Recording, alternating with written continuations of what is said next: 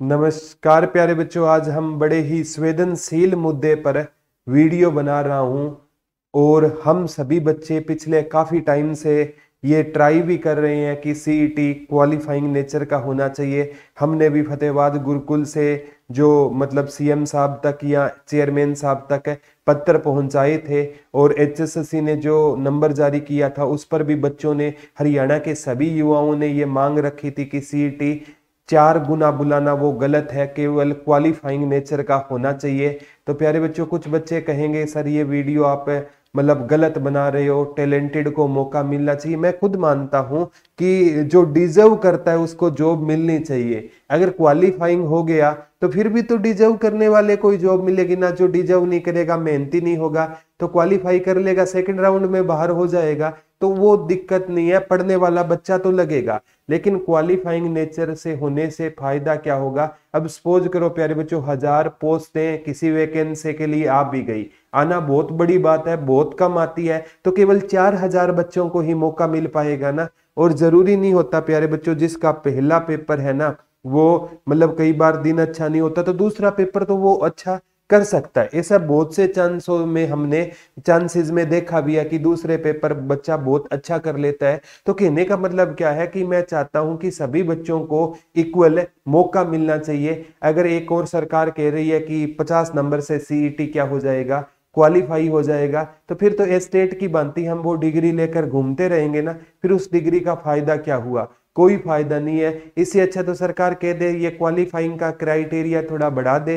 मतलब इतने नंबर वाला जर्नल में या इतने नंबर वाला अदर में क्वालिफाई होगा। तो प्यारे बच्चों, मेरी सरकार से और माननीय चेयरमैन साहब से यही डिमांड है कि सीईटी में चार गुना जो बुलाना है वो गलत है। क्वालिफाइंग नेचर का सीईटी होना चाहिए।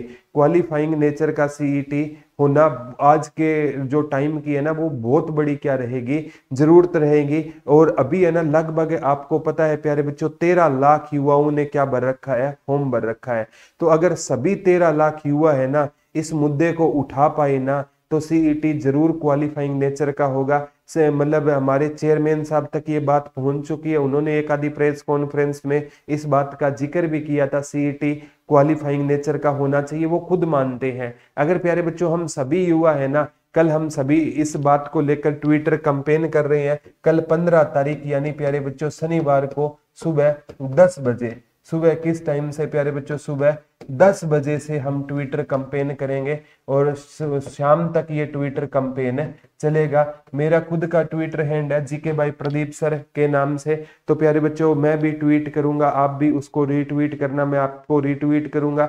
हमें केवल है ना मतलब बड़े कैपिटल अक्षर में CET under score qualifying only के साथ जाना है सेम हैशटैग रखना है। क्या हैशटैग रहेंगे? मैं जीके भाई प्रदीप सर के ऑफिशियल टेलीग्राम पर डाल दूँगा और बहुत से बच्चे कहेंगे, सर, ये चीज़ सही नहीं है। लेकिन प्यारे बच्चों, ये चीज़ है ना, हमने महसूस की है। ये चीज़ बिल्कुल सही है और कुछ को लगेगा कि, सर, ये मतलब कुछ बच्चे कहें, सर, ये आप, आपकी दुकानदारी बंद ना हो जाए, इसलिए कर रहे हो। तो उनको बता देना चाहता हूँ, इन चीज़ों से हमें कोई फ़र्क नहीं पड़ेगा। फतेहबाद में जब हम फ्री गुरुकुल चला रहे हैं तो इन चीज़ों से हमें कोई लेना देना नहीं है। लेकिन जो स्टूडेंट हित की बात होगी ना, उसमें हम पहले से ही उस बात को हमेशा उठाते आ रहे हैं, अब भी उठाते रहेंगे। आपको, जब भी आप ट्वीट करो ना, एक तो सीएमओ हरियाणा को, एक डिप्टी सीएम को, एक हमारे मतलब आप चौधरी कुलदीप बिश्नोई जो आदम पर अभी मतलब चुनाव है ना, प्यारे बच्चों, और जब चुनाव होता है ना तो सरकार हमारी बात को ज़्यादा मानेगी तो उनको भी हमें